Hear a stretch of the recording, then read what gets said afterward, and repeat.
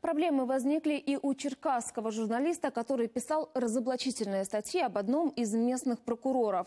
И тот, недолго думая, подал заявление в полицию, дескать, репортер обнародовал личную информацию. Уголовное производство открыли немедленно.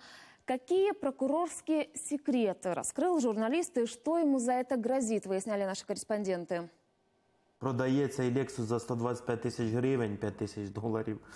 І на її місце купляє Toyota Sequoia 2008, яка за 170 тисяч гривень, 7 тисяч доларів. При реальній вартості ну, мінімум 30 тисяч доларів.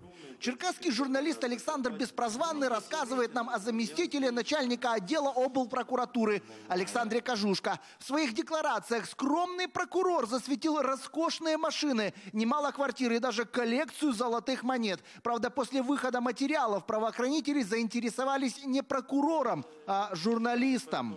Вся інформація про даного посадовця вона була взята із відкритих джерел. Це його декларації, реєстр судових рішень. Ну та ж сама його сторінка в соцмережі. Александру инкриминируют незаконное распространение конфиденциальной информации. Производство открыли еще 16 декабря, но сам Беспрозванный узнал об этом совершенно случайно, когда следователь решил выяснить, имеет ли он официальный статус журналиста. За это время его даже не вызвали на допрос. І дивує той факт, що е, саме провадження слідчий відкрив, оскільки ну е, як такого там ну складу злочину, в принципі, немає. Він мав би відмовляти. При службе нацполиции нам не захотели даже подтверждать, зарегистрировано ли у них это производство. Мол, нет разрешения следователя. Прокуратуре же были немногословны. Проводиться комплекс необхідних слідчих дій, і крім того, на виконанні у слідчого перебувають надані процесуальним керівником вказівки, які направлені на розкриття вказаного злочину. Мы надеялись встретить сотрудника прокуратуры Александра Кожушка возле работы. Но как только подошли к ведомству, к нам сразу же вышел охранник и потребовал аккредитацию.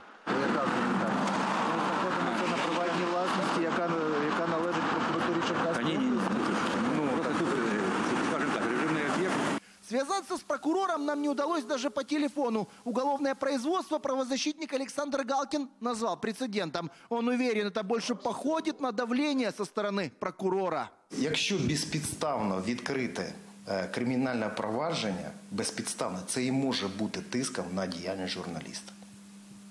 Але воно повинно бути визнане.